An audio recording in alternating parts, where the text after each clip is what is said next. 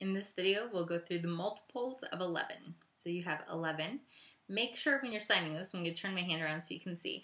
So you're not waving, you're actually sticking it under your thumb here and flicking it. Kind of think like if you had like a marble and you flick it that way. Okay, so you're flicking it. 11. 11. Okay, 11.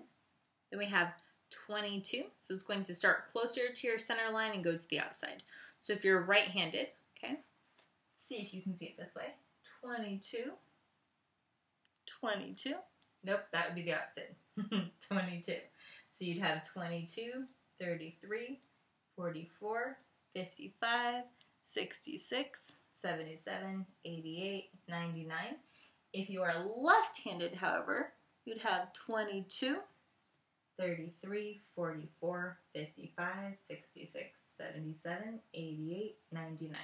So for each of these, my palm is going to be facing down and I'm going from here, bouncing up to here, okay? So 22, 33, 44, 55, 66, 77, 88, 99. There are your multiples of 11.